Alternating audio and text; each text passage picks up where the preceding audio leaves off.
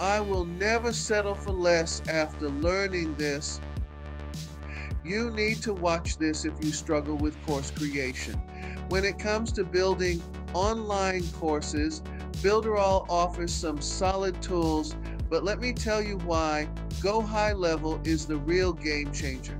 Go High Level isn't just about course creation, it's about building a thriving community.